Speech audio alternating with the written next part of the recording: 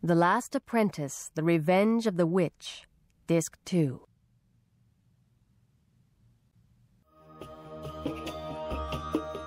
Chapter 5 Boggarts and Witches. We were heading for what the spook called his winter house. As we walked, the last of the morning clouds melted away, and I suddenly realized that there was something different about the sun. Even in the county, the sun sometimes shines in winter, which is good because it usually means that at least it isn't raining. But there's a time in each new year when you suddenly notice its warmth for the first time. It's just like the return of an old friend.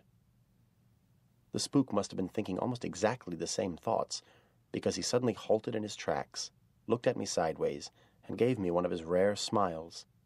This is the first day of spring, lad, he said, so we'll go to Chippenden. It seemed an odd thing to say. Did he always go to Chippenden on the first day of spring, and if so, why? So I asked him. Summer quarters. We winter on the edge of Anglezark Moor and spend the summer in Chippenden. I've never heard of Anglezark. Where's that? I asked. To the far south of the county, lad. It's the place where I was born. We lived there until my father moved us to Horshaw. Still, at least I'd heard of Chippenden, so that made me feel better. It struck me that, as the spook's apprentice, I'd be doing a lot of traveling and would have to learn how to find my way about. Without further delay, we changed direction, heading northeast toward the distant hills. I didn't ask any more questions, but that night, as we sheltered in a cold barn once more and supper was just a few more bites of the yellow cheese, my stomach began to think that my throat had been cut. I'd never been so hungry. I wondered where we'd be staying in Chippenden, and if we'd get something proper to eat there. I didn't know anyone who'd ever been there, but it was supposed to be a remote, unfriendly place somewhere up in the fells, the distant grey and purple hills that were just visible from my dad's farm. They always looked to me like huge sleeping beasts, but that was probably the fault of one of my uncles who used to tell me tales like that. At night, he said, they started to move, and by dawn whole villages had sometimes disappeared from the face of the earth, crushed into dust beneath their weight. The next morning, dark grey clouds were covering the sun once more, and it looked as if we'd wait some time to see the second day of spring. The wind was getting up as well, tugging at our clothes as we gradually began to climb, and hurling birds all over the sky, the clouds racing one another east to hide the summits of the fells. Our pace was slow, and I was grateful for that because I'd developed a bad blister on each heel, so it was late in the day when we approached Chippenden, the light already beginning to fail. By then, although it was still very windy, the sky had cleared, and the purple fells were sharp against the skyline. The spook hadn't talked much on the journey, but now he sounded almost excited as he called out the names of the fells one by one. There were names such as Parlick Pike, which was the nearest to Chippenden. Others, some visible, some hidden and distant, were called Mellor Knoll, Saddle Fell, and Wolf Fell. When I asked my master if there were any wolves on Wolf Fell, he smiled grimly. Things change rapidly here, lad, he said, and we must always be on our guard. As the first rooftops of the village came into sight, the spook pointed to a narrow path that led away from the road to twist upward by the side of a small, gurgling stream. My house is this way, he said. It's a slightly longer route, but it means we can avoid going through the village. I like to keep my distance from the folk who live there. They prefer it that way, too. I remembered what Jack had said about the spook, and my heart sank. He'd been right. It was a lonely life. You ended up working by yourself. There were a few stunted trees on each bank clinging to the hillside against the force of the wind, but then suddenly, directly ahead was a wood of sycamore and ash. As we entered, the wind died away to a distant sigh. It was just a large collection of trees, a few hundred or so maybe, that offered shelter from the buffeting wind, but after a few moments I realized it was more than that. I'd noticed before, from time to time, how some trees are noisy, always creaking their branches or rustling their leaves, while others hardly make any sound at all. Far above, I could hear the distant breath of the wind, but within the wood, the only sounds to be heard were our boots. Everything was very still. A whole wood full of trees that were so silent it made a shiver run up and down my spine. It almost made me think that they were listening to us. Then we came out into a clearing, and directly ahead was a house. It was surrounded by a tall hawthorn hedge, so that just its upper story and the roof were visible. From the chimney rose a line of white smoke. Straight up into the air it went, undisturbed, until, just above the trees, the wind chased it away to the east. The house and garden, I noticed then, were sitting in a hollow in the hillside. It was just as if an obliging giant had come along and scooped away the ground with his hand. I followed the spook along the hedge until we reached a metal gate. The gate was small, no taller than my waist, and it had been painted a bright green, a job that had been completed so recently that I wondered if the paint had dried properly, and whether the spook would get it on his hand, which was already reaching toward the latch. Suddenly something happened that made me catch my breath. Before the spook touched the latch, it lifted up on its own, and the gate swung slowly open as if moved by an invisible hand. Thank you, I heard the spook say. The front door didn't move by itself because first it had to be unlocked with the large key that the spook pulled from his pocket. It looked similar to the one he'd used to unlock the door of the house in Watery Lane. Is that the same key you used in Horshaw? I asked. Aye, lad, he said, glancing down at me as he pushed open the door. My brother, the locksmith, gave me this. It opens most locks as long as they're not too complicated. Comes in quite useful in our line of work. The door yielded with a loud creak and a deep groan, and I followed the spook into a small, gloomy hallway. There was a steep staircase to the right and a narrow, flagged passage on the left. Leave everything at the foot of the stairs, said the spook. Come on, lad, don't dawdle. There's no time to waste. I like my food piping hot. So, leaving his bag and my bundle where he'd sat, I followed him down the passage toward the kitchen and the appetizing smell of hot food. When we got there, I wasn't disappointed. It reminded me of my mam's kitchen. Herbs were growing in big pots on the wide window ledge, and the setting sun was dappling the room with leaf shadows. In the far corner, a huge fire was blazing, filling the room with warmth, and right in the middle of the flagged floor was a large oaken table. On it were two enormous empty plates, and at its center, five serving dishes piled high with food next to a jug filled to the brim with hot, steaming gravy. Sit down and tuck in, lad, invited the spook, and I didn't need to be asked twice.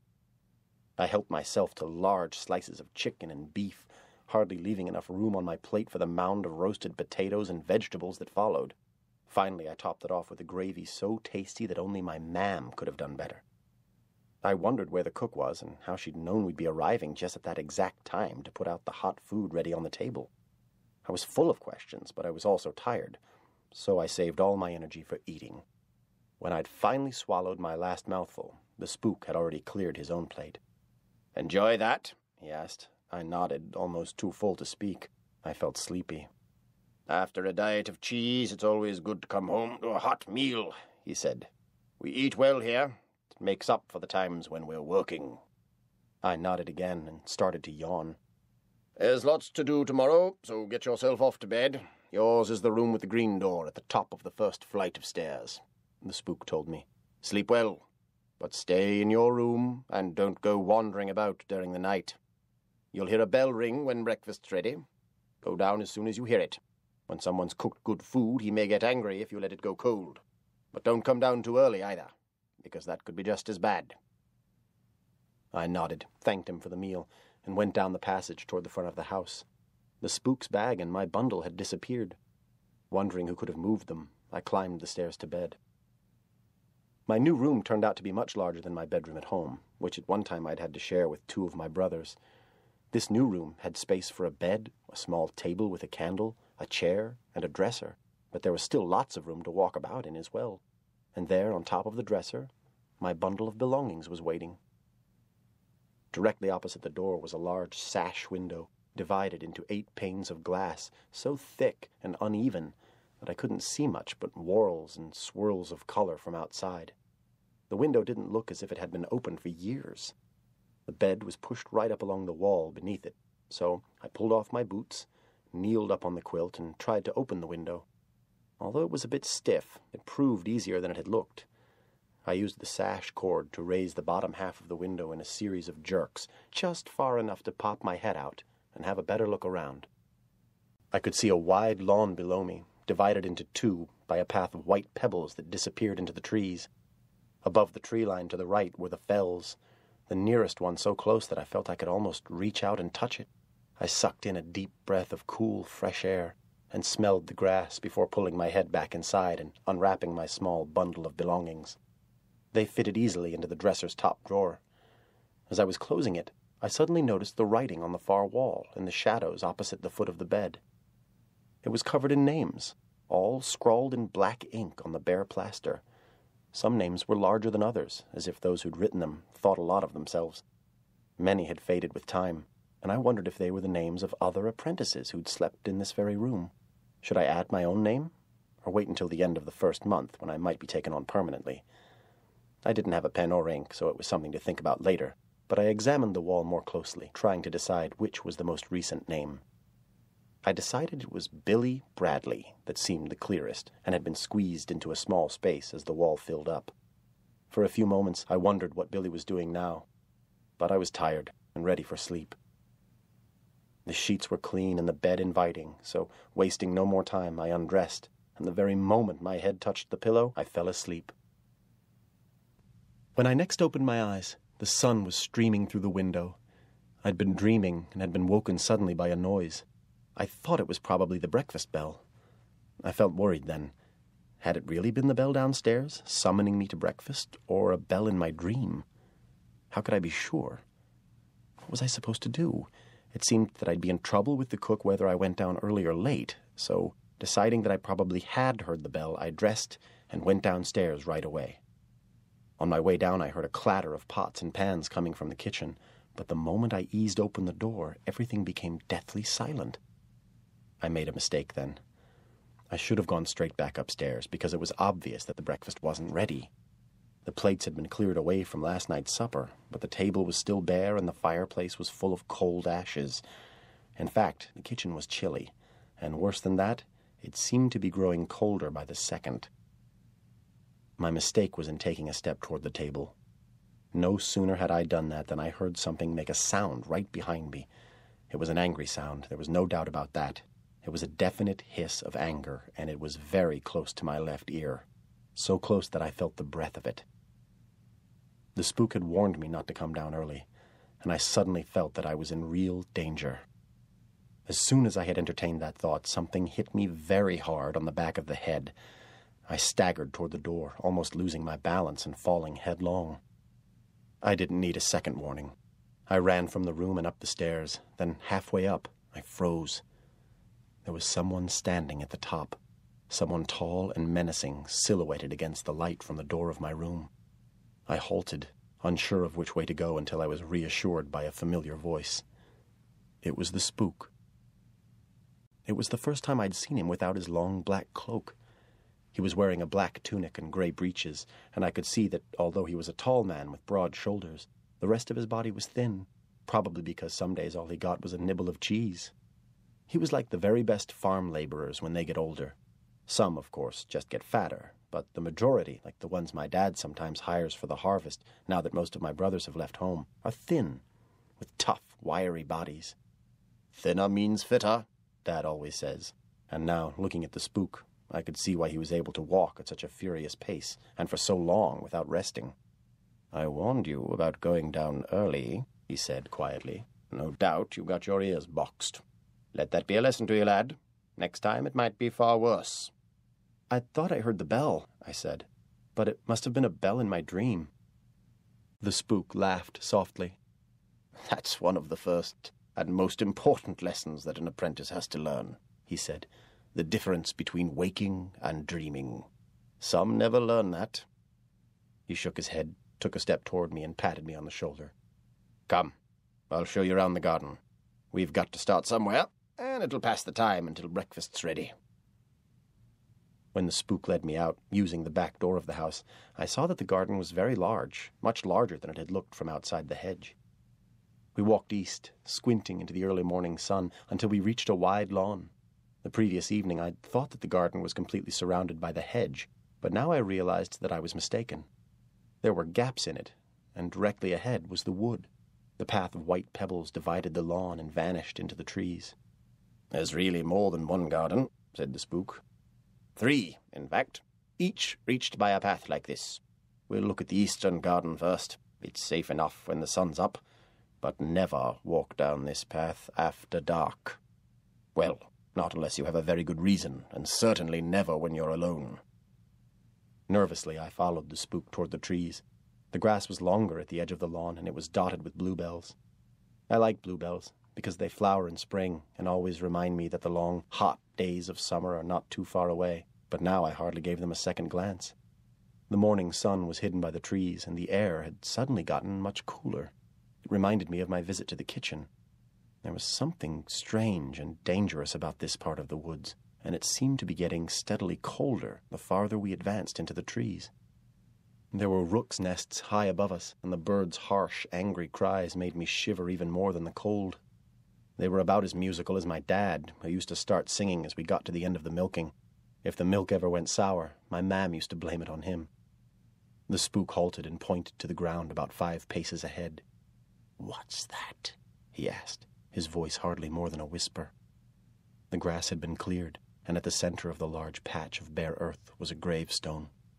It was vertical, but leaning slightly to the left. On the ground before it, six feet of soil was edged with smaller stones, which was unusual. But there was something else even more strange. Across the top of the patch of earth and fastened to the outer stones by bolts lay thirteen thick iron bars. I counted them twice, just to be sure. Well, come on, lad. I asked you a question. What is it? My mouth was so dry I could hardly speak, but I managed to stammer out three words. It's a grave? Good lad.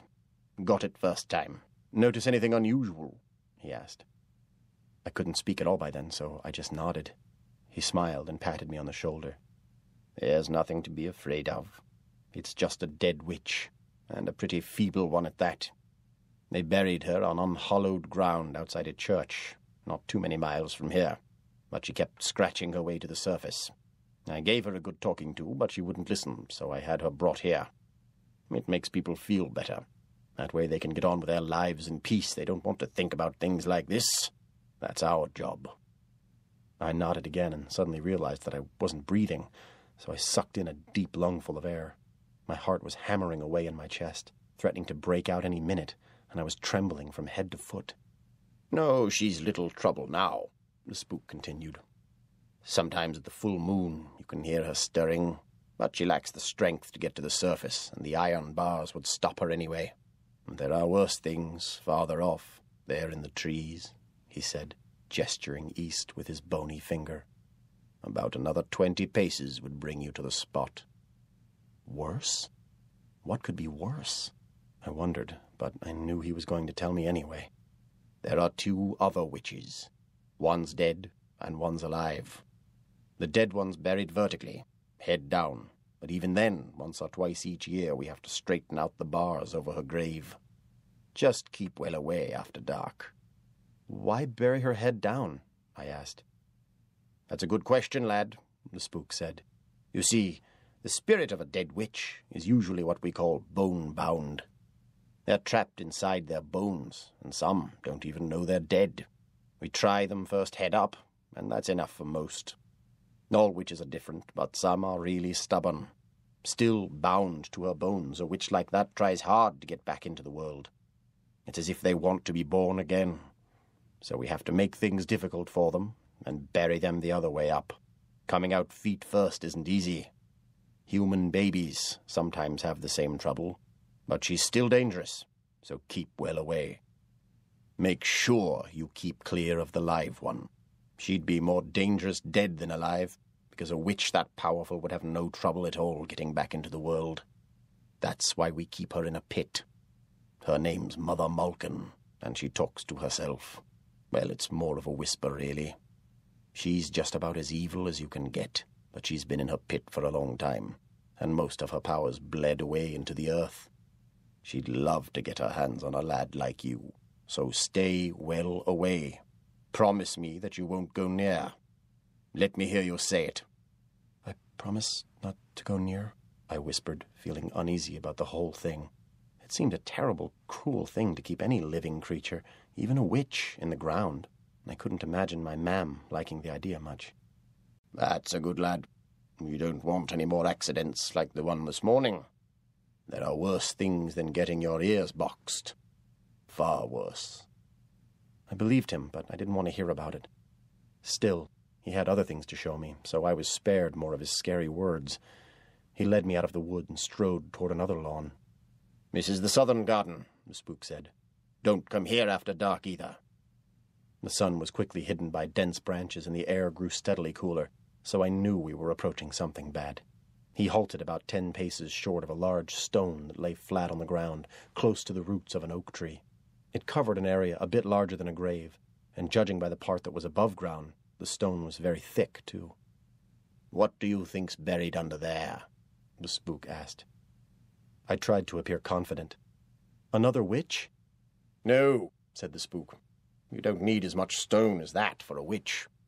Iron usually does the trick, but the thing under there could slip through iron bars in the twinkling of an eye.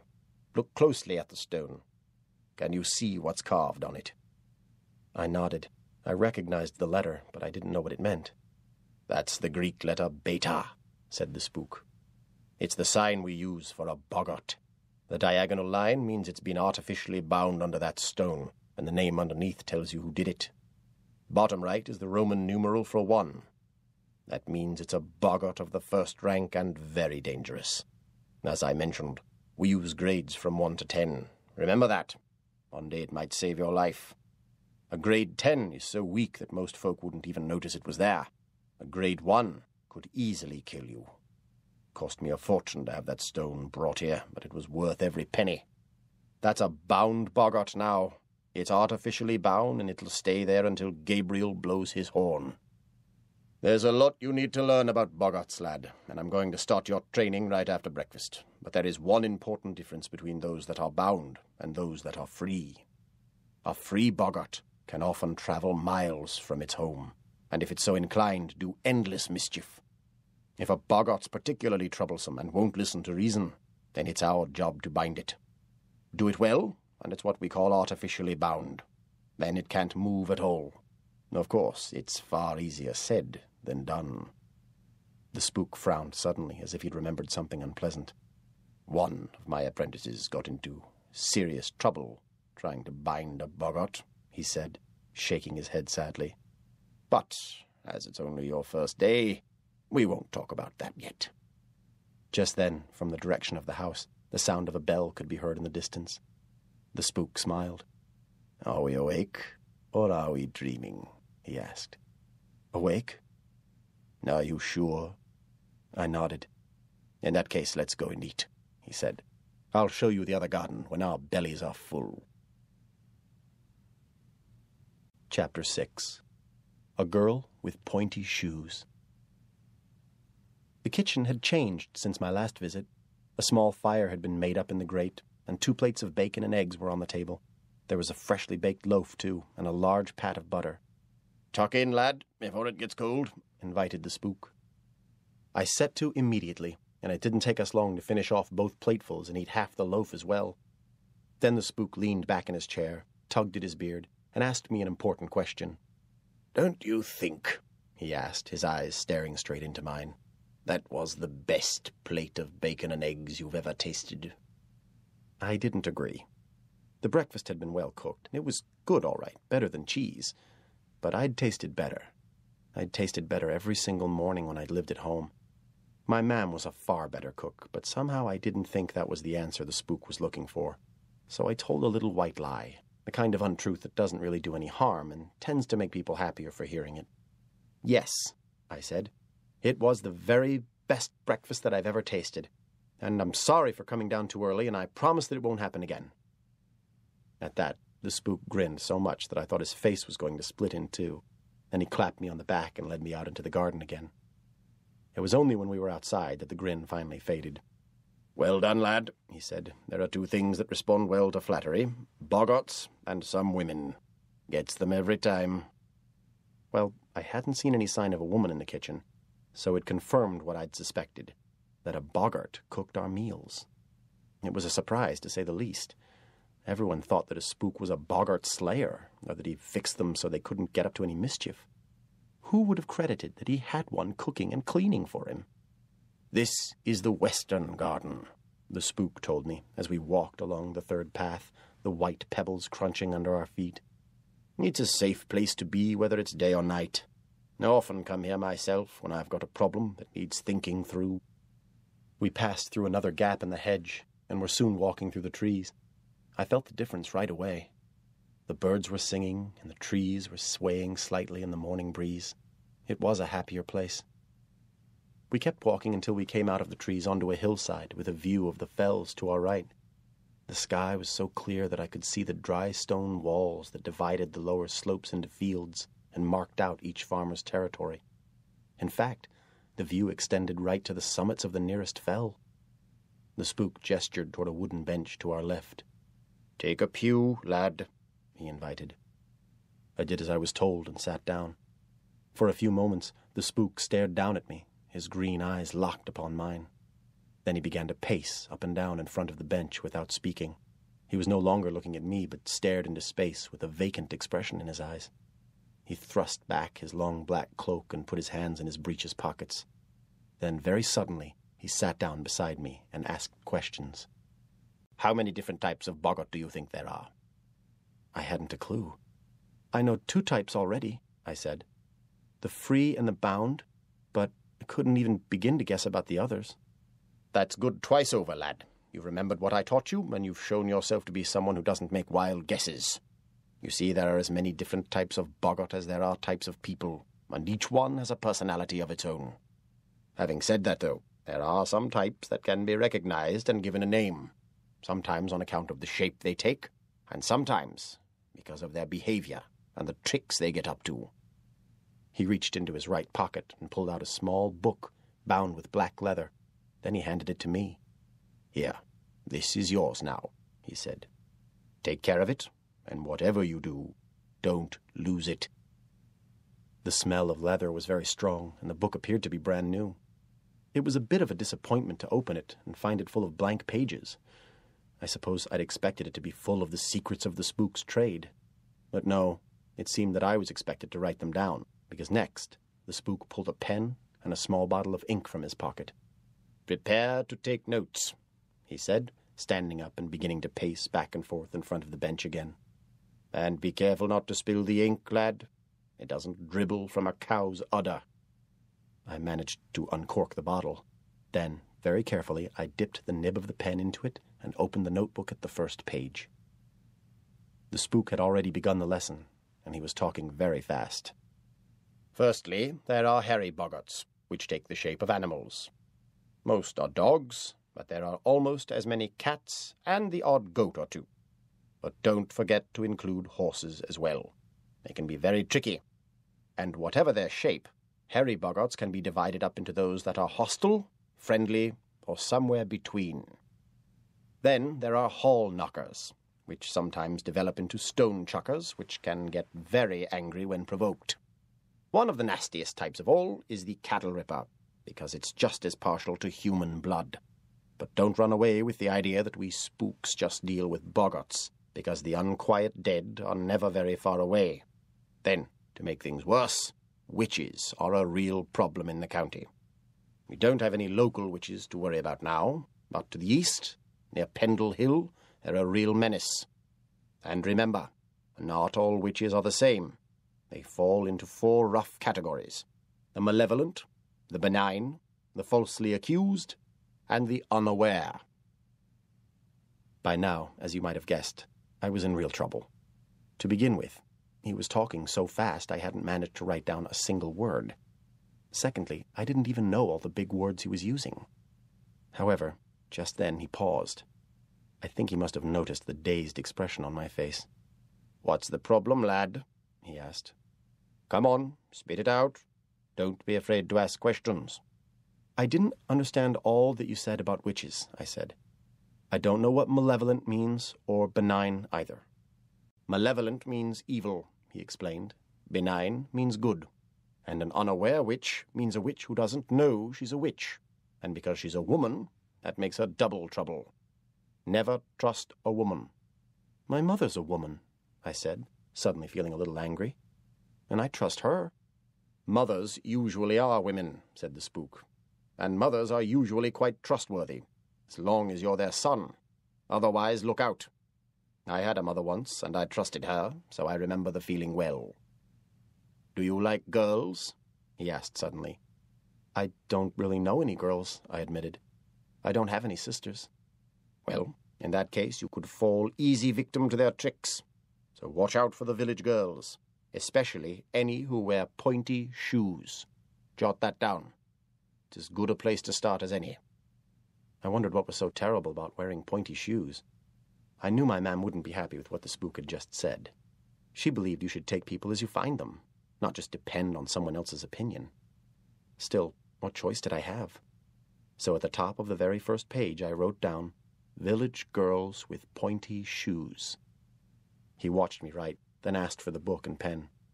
Look, he said, you're going to have to take notes faster than that.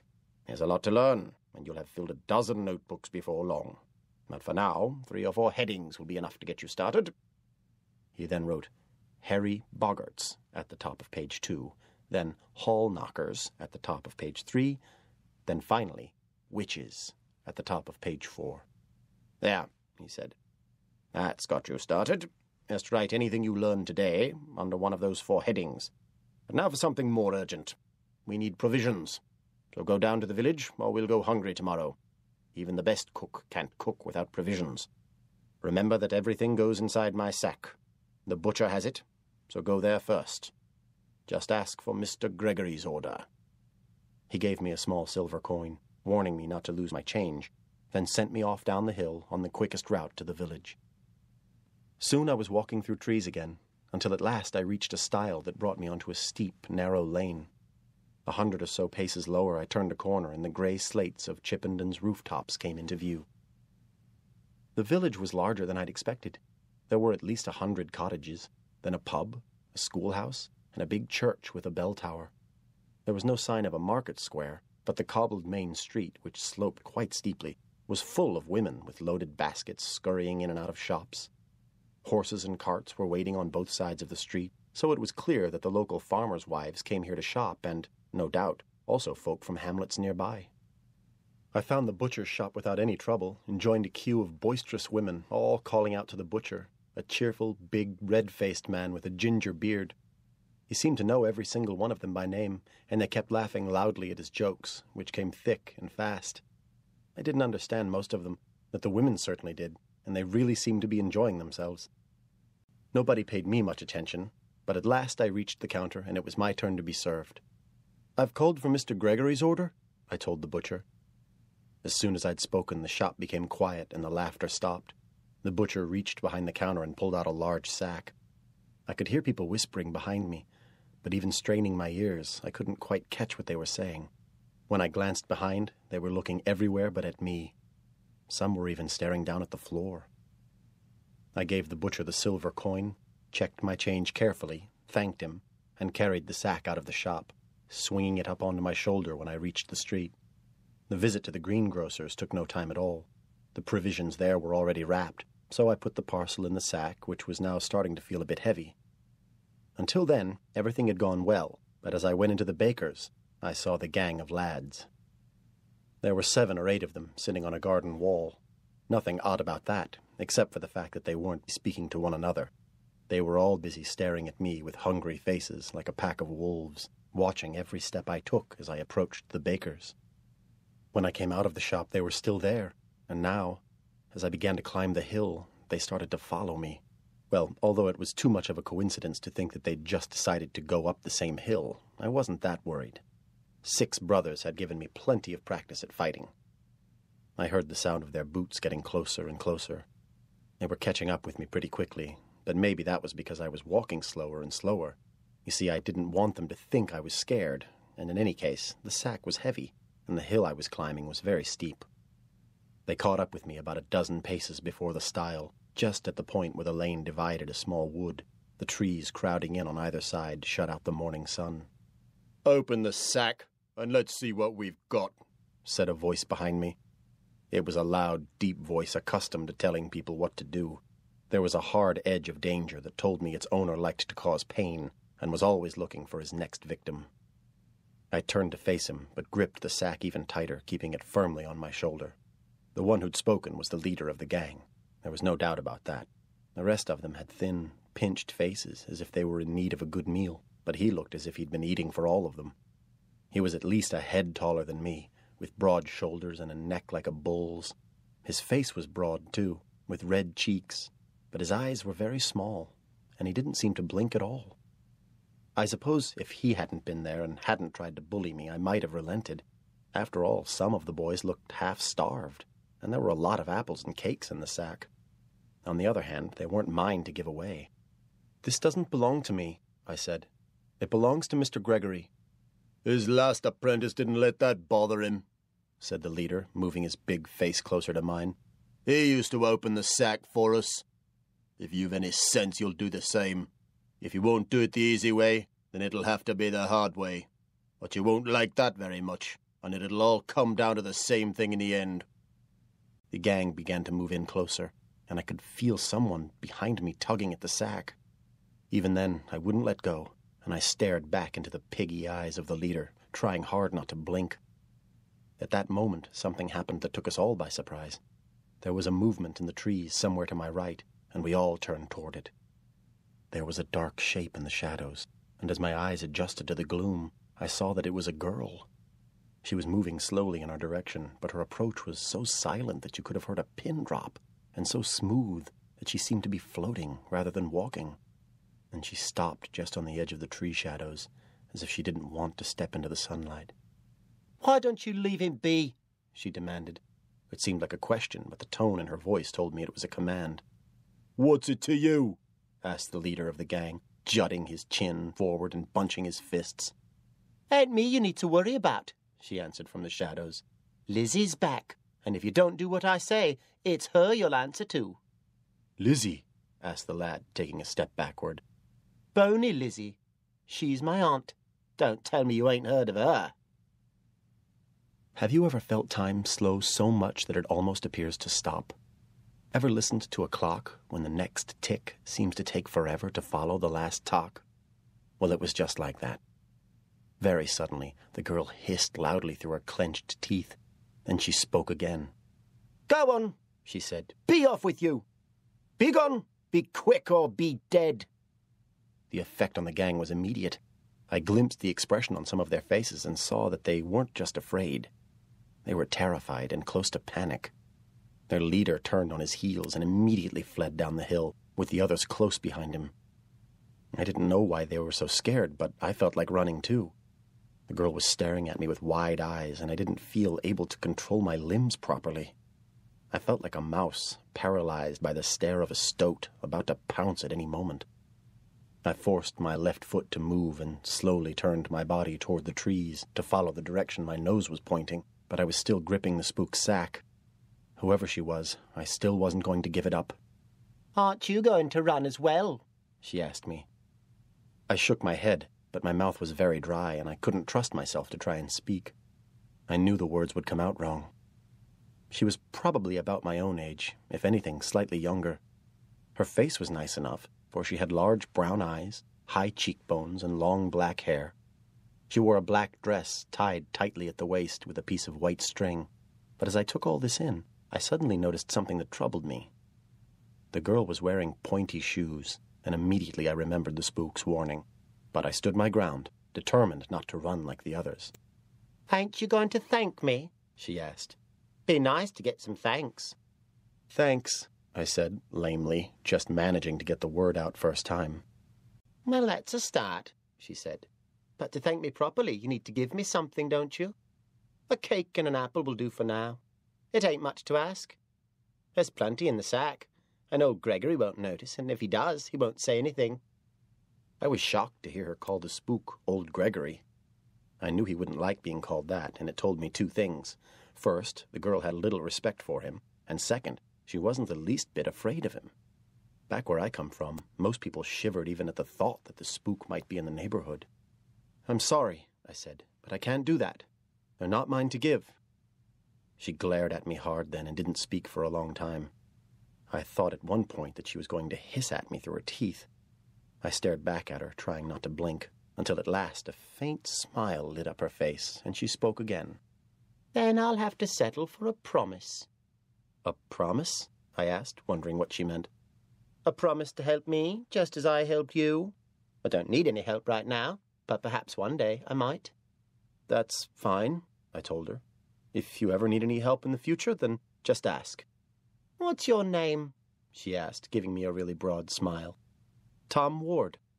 Well, my name's Alice, and I live yonder, she said, pointing back through the trees. I'm Bony Lizzie's favorite niece.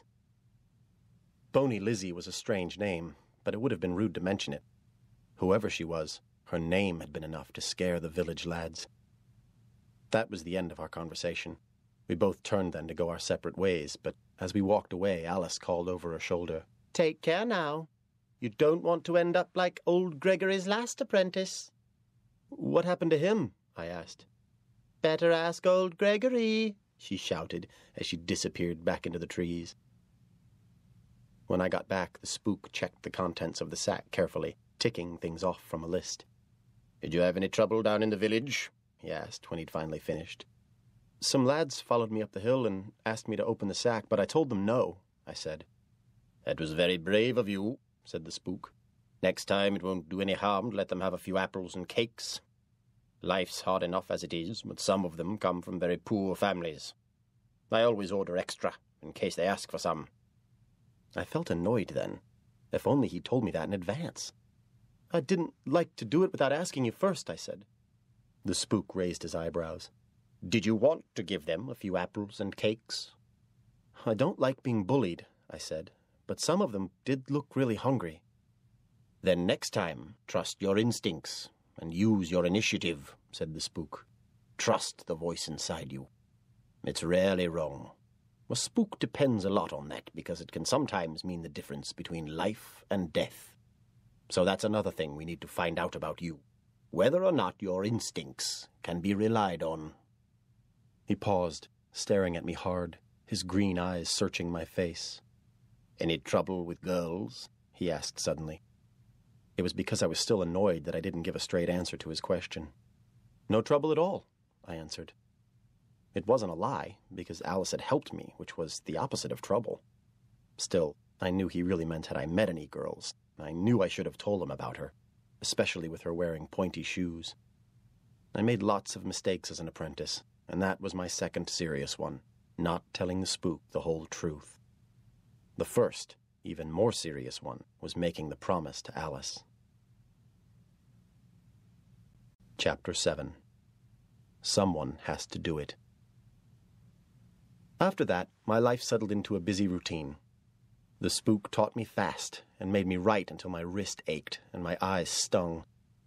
One afternoon he took me to the far end of the village, beyond the last stone cottage, to a small circle of willow trees, which are called withy trees in the county. It was a gloomy spot, and there, hanging from a branch, was a rope. I looked up and saw a big brass bell. When people need help, said the spook, they don't come up to the house. Nobody comes unless they're invited. I'm strict about that. They come down here and ring that bell. Then we go to them. The trouble was that even after weeks had gone by, nobody came to ring the bell, and I only ever got to go farther than the western garden when it was time to go fetch the weekly provisions from the village. I was lonely, too, missing my family, so it was a good job the spook kept me busy. That meant I didn't have time to dwell on it. I always went to bed tired and fell asleep as soon as my head hit the pillow. The lessons were the most interesting part of each day, but I didn't learn much about ghasts, ghosts, and witches. The spook had told me that the main topic in an apprentice's first year was boggarts, together with such subjects as botany, which meant learning all about plants, some of which were really useful as medicines or could be eaten if you had no other food. But my lessons weren't just writing. Some of the work was just as hard and physical as anything I'd done back home on our farm. It started on a warm, sunny morning when the spook told me to put away my notebook and led the way toward his southern garden. He gave me two things to carry a spade and a long measuring rod. Free boggarts travel down leys, he explained. But sometimes something goes wrong. It can be the result of a storm, or maybe even an earthquake. In the county, there hasn't been a serious earthquake in living memory, but that doesn't matter because leys are all interconnected, and something happening to one even a thousand miles away can disturb all the others. Then, boggarts get stuck in the same place for years, and we call them naturally bound. Often they can't move more than a few dozen paces in any direction, and they cause little trouble, not unless you happen to get too close to one. Sometimes, though, they can be stuck in awkward places, close to a house, or even inside one. Then you might need to move the boggart from there and artificially bind it elsewhere. What's a ley? I asked. Not everybody agrees, lad, he told me. Some think they are just ancient paths that crisscross the land, paths our forefathers walked in ancient times when men were real men and darkness knew its place. Health was better, lives were longer, and everyone was happy and content. What happened? Ice moved down from the north, and the earth grew cold for thousands of years, the spook explained. It was so difficult to survive that men forgot everything they'd learned. The old knowledge was unimportant. Keeping warm and eating was all that mattered. When the ice finally pulled back, the survivors were hunters dressed in animal skins. They'd forgotten how to grow crops and husband animals. Darkness was all powerful. Well, it's better now, although we still have a long way to go. All that's left of those times are the leys, but the truth is, they're more than just paths. Leys are really lines of power far beneath the earth. Secret invisible roads that free boggarts can use to travel at great speed. It's these free boggarts that cause the most trouble. When they set up home in a new location, often they're not welcome. Not being welcome makes them angry. They play tricks, sometimes dangerous tricks, and that means work for us. Then they need to be artificially bound in a pit, just like the one that you're going to dig now.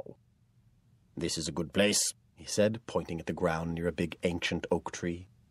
I think there should be enough space between the roots. The spook gave me a measuring rod so that I could make the pit exactly six feet long, six feet deep, and three feet wide. Even in the shade, it was too warm to be digging, and it took me hours and hours to get it right because the spook was a perfectionist. After digging the pit, I had to prepare a smelly mixture of salt, iron filings, and a special sort of glue made from bones. Salt can burn a boggart, said the spook. Iron, on the other hand, earths things. Just as lightning finds its way to earth and loses its power, iron can sometimes bleed away the strength and substance of things that haunt the dark. It can end the mischief of troublesome boggarts. Used together, salt and iron form a barrier that a boggart can't cross. In fact, salt and iron can be useful in lots of situations. After stirring up the mixture in a big metal bucket, I used a large brush to line the inside of the pit. It was like painting, but harder work, and the coating had to be perfect in order to stop even the craftiest boggart from escaping. Do a thorough job, lad, the spook told me. A boggart can escape through a hole no bigger than a pinhead. Of course, as soon as the pit was completed to the spook's satisfaction, I had to fill it in and begin again. He had me digging two practice pits a week, which was hard, sweaty work and took up a lot of my time. It was a bit scary, too, because I was working near pits that contained real boggarts, and even in daylight, it was a creepy place. I noticed that the spook never went too far away, though, and he always seemed watchful and alert telling me you could never take chances with boggarts, even when they were bound. The spook also told me that I'd need to know every inch of the county, all its towns and villages, and the quickest route between any two points. The trouble was that although the spook said he had lots of maps upstairs in his library, it seemed I always had to do things the hard way, so he started me off by making me draw a map of my own. At its center was his house and gardens, and it had to include the village and the nearest of the fells. The idea was that it would gradually get bigger to include more and more of the surrounding countryside. But drawing wasn't my strong point, and as I said, the spook was a perfectionist, so the map took a long time to grow. It was only then that he started to show me his own maps, but he made me spend more time carefully folding them up afterward than actually studying them. I also began to keep a diary. The spook gave me another notebook for this, telling me for the umpteenth time that I needed to record the past so that I could learn from it. I didn't write in it every day, though. Sometimes I was too tired, and sometimes my wrist was aching too much from scribbling at top speed in my other notebook while trying to keep up with what the spook said. Then, one morning at breakfast, when I'd been staying with the spook for just one month, he asked, What do you think so far, lad? I wondered if he were talking about the breakfast. Perhaps there'd be a second course to make up for the bacon, which had been a bit burned that morning. So I just shrugged. I didn't want to offend the Boggart, which was probably listening. Well, it's a hard job, and I wouldn't blame you for deciding to give it up now, he said. After the first month's passed, I always give each new apprentice the chance to go home and think very carefully about whether he wants to carry on or not. Would you like to do the same? I did my best not to seem too eager, but I couldn't keep the smile off my face. The trouble was, the more I smiled, the more miserable the spook looked. I got the feeling that he wanted me to stay, but I couldn't wait to be off. The thought of seeing my family again and getting to taste Mam's cooking seemed like a dream. I left for home within the hour. You're a brave lad, and your wits are sharp, he said to me at the gate. You've passed your month's trial, so you can tell your dad that. If you want to carry on, I'll be visiting him in the autumn to collect my ten guineas. You've the makings of a good apprentice, but it's up to you, lad.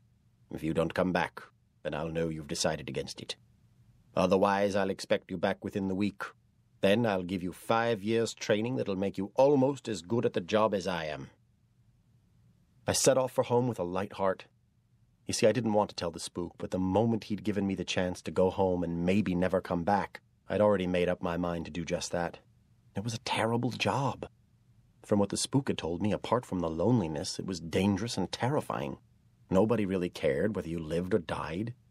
They just wanted you to get rid of whatever was plaguing them, but didn't think for a second about what it might cost you.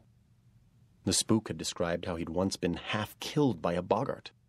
It had changed in the blink of an eye from a hall knocker to a stone chucker, and had nearly brained him with a rock as big as a blacksmith's fist. He said that he hadn't even been paid yet, but expected to get the money next spring. Well, next spring was a long time off, so what good was that? As I set off for home, it seemed to me that I'd be better off working on the farm. The trouble was, it was nearly two days' journey, and walking gave me a lot of time to think. I remembered how bored I'd sometimes been on the farm. Could I really put up with working there for the rest of my life? Next, I started to think about what Mam would say. She'd been really set on me being the spook's apprentice, and if I stopped, I'd really let her down. So the hardest part would be telling her and watching her reaction. By nightfall on the first day of my journey home, I'd finished all the cheese the spook had given me for the trip. So the next day, I only stopped once to bathe my feet in a stream, reaching home just before the evening milking. As I opened the gate to the yard, Dad was heading for the cowshed. When he saw me, his face lit up with a broad smile. I offered to help with the milking so we could talk, but he told me to go in right away and speak to my mam. She's missed you, lad. You'll be a sight for sore eyes. Patting me on the back, he went off to do his milking. But before I'd taken half a dozen paces, Jack came out of the barn and made straight for me. What brings you back so soon? he asked. He seemed a bit cool. Well, to be honest, he was more cold than cool. His face was sort of twisted up, as if he were trying to scowl and grin at the same time.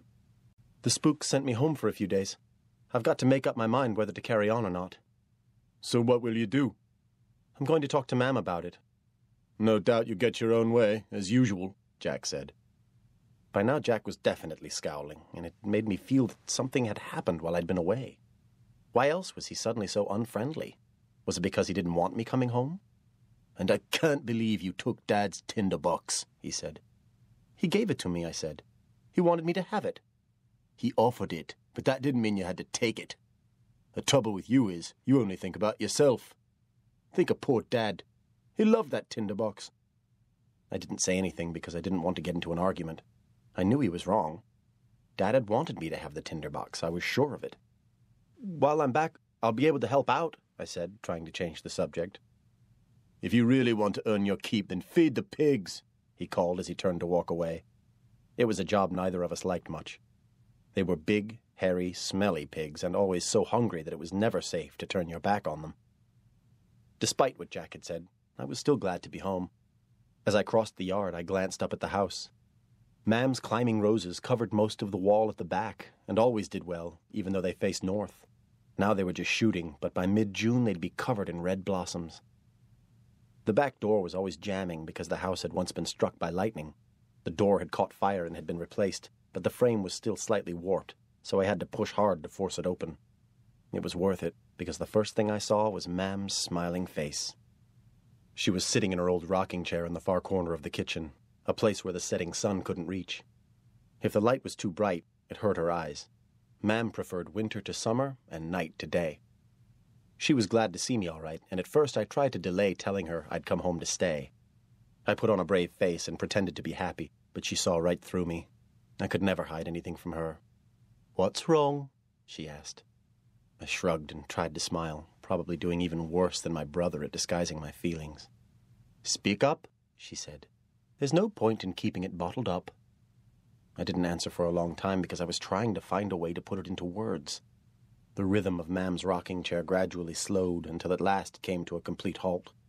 That was always a bad sign. I've passed my month's trial, and Mr. Gregory says it's up to me whether I carry on or not. But I'm lonely, Mam, I confessed at last. It's just as bad as I expected. I've got no friends, nobody of my own age to talk to. I feel so alone. I'd like to come back and work here. I could have said more and told her how happy we used to be on the farm when all my brothers were living at home. I didn't. I knew that she missed them too. I thought she'd be sympathetic because of that, but I was wrong. There was a long pause before Mam spoke, and I could hear Ellie sweeping up in the next room, singing softly to herself as she worked. Lonely? Mam asked, her voice full of anger rather than sympathy. How can you be lonely? You've got yourself, haven't you?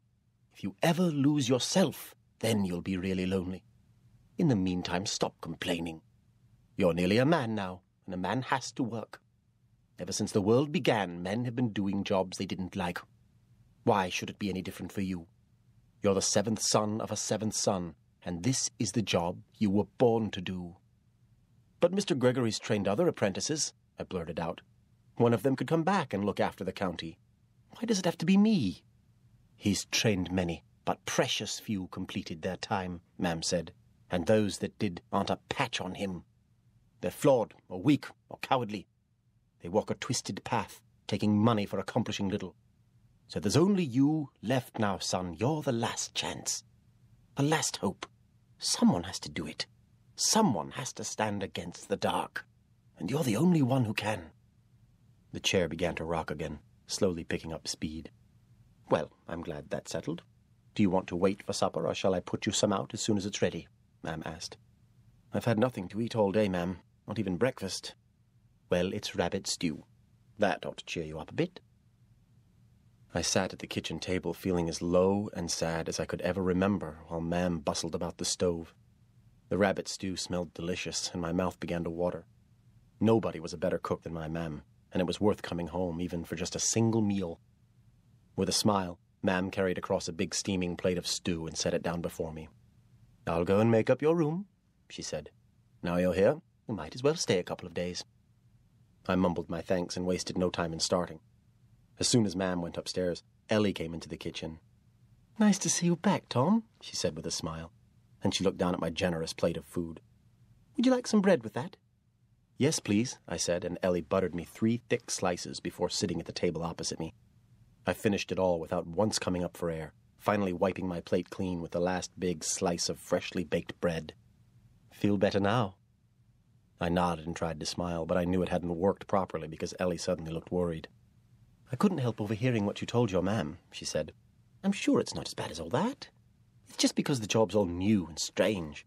You'll soon get used to the work. Anyway, you don't have to go back right away. After a few days at home, you'll feel better. You'll always be welcome here, even when the farm belongs to Jack. I don't think Jack's that pleased to see me. Why, what makes you say that? Ellie asked. He just didn't seem that friendly, that's all. I don't think he wants me here. Don't you worry about your big mean brother. I can sort him out easily enough. I smiled properly then, because it was true. As my mam once said, Ellie could twist Jack round her little finger. What's mainly bothering him is this, Ellie said, smoothing her hand down across her belly. My mother's sister died in childbirth, and our family still talks of it to this day. It's made Jack nervous, but I'm not bothered at all, because I couldn't be in a better place, with your mam to look after me. She paused. But there is something else. Your new job worries him. He seemed happy enough about it before I went away, I said. He was doing that for you, because you're his brother. He cares about you. But the work a spook does frightens people, makes them uneasy, I suppose if you'd left right away, it would probably have been all right. But Jack said that on the day you left, you went straight up over the hill into the wood, and that since then the dogs have been uneasy. Now they won't even go into the north pasture. Jack thinks you've stirred something up. I suppose it all comes back to this, Ellie went on, patting her belly gently. He's just being protective, that's all.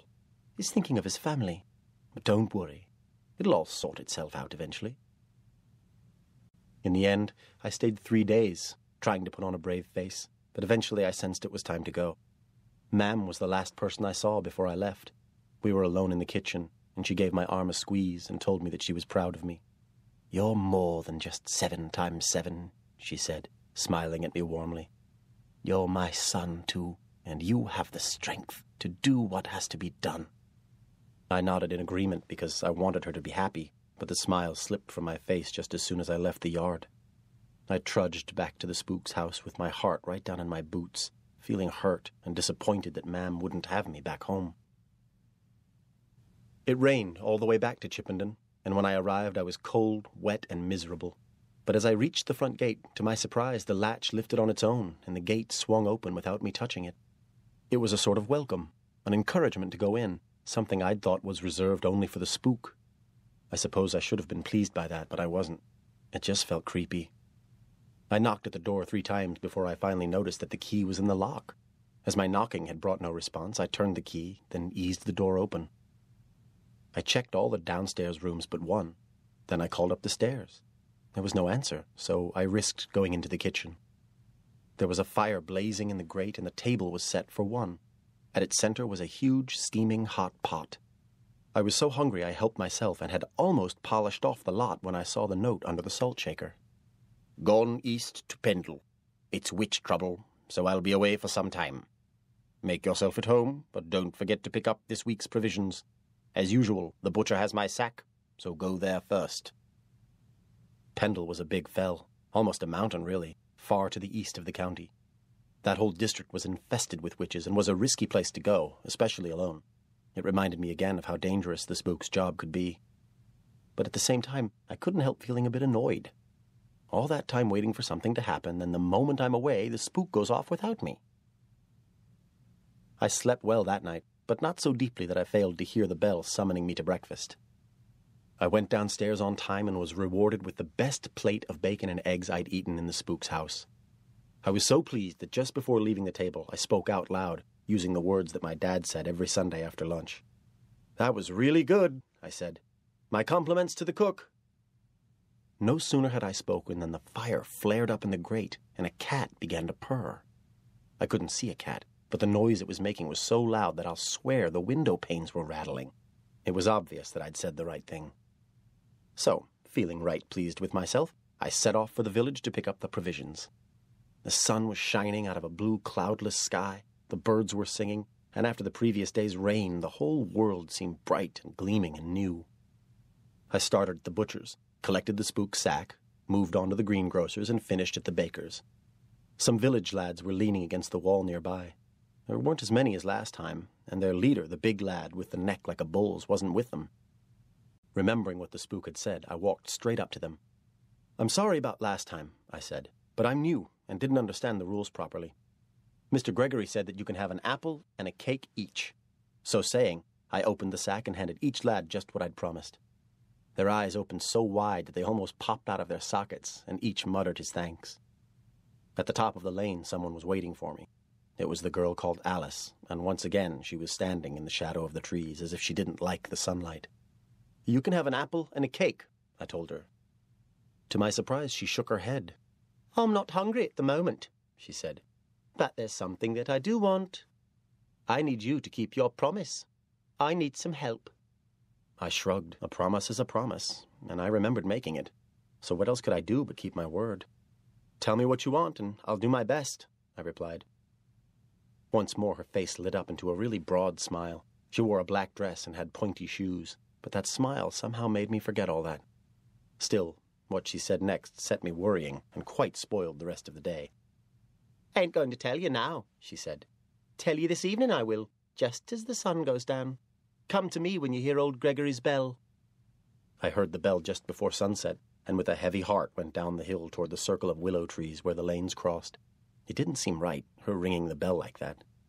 Not unless she had work for the spook, but somehow I doubted that. Far above, the last rays of the sun were bathing the summits of the fells in a faint orange glow, but down below, among the withy trees, it was grey and full of shadows. I shivered when I saw the girl, because she was pulling the rope with just one hand, yet making the clappers of the big bell dance wildly. Despite her slim arms and narrow waist, she had to be very strong. She stopped ringing as soon as I showed my face and rested her hands on her hips while the branches continued to dance and shake overhead. We just stared at each other for ages until my eyes were drawn down toward a basket at her feet. There was something inside it covered with a black cloth. She lifted the basket and held it out to me. What is it? I asked. It's for you, so that you can keep your promise. I accepted it, but I wasn't feeling very happy. Curious, I reached inside to lift the black cloth. No, leave it be, Alice snapped, a sharp edge to her voice. Don't let the air get to them or they'll spoil. What are they? I asked. It was growing darker by the minute, and I was starting to feel nervous. They're just cakes. Thank you very much, I said. They're not for you, she said, a little smile playing at the corners of her mouth. Those cakes are for old Mother Malkin. My mouth became dry, and a chill ran down my spine. Mother Malkin the live witch the spook kept in a pit in his garden. I don't think Mr. Gregory would like it, I said. He told me to keep away from her. He's a very cruel man, old Gregory, said Alice. Poor Mother Malkin's been in that damp, dark hole in the ground for almost thirteen years now. Is it right to treat an old woman so badly? I shrugged. I hadn't been happy about it myself.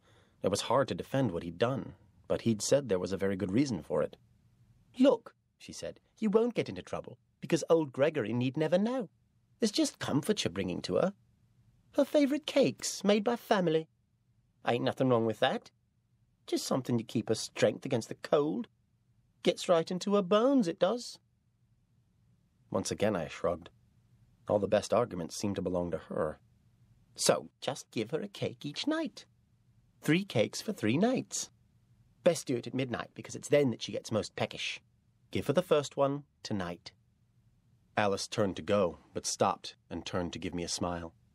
We could become good friends, you and me, she said with a chuckle. Then she disappeared into the deepening shadows.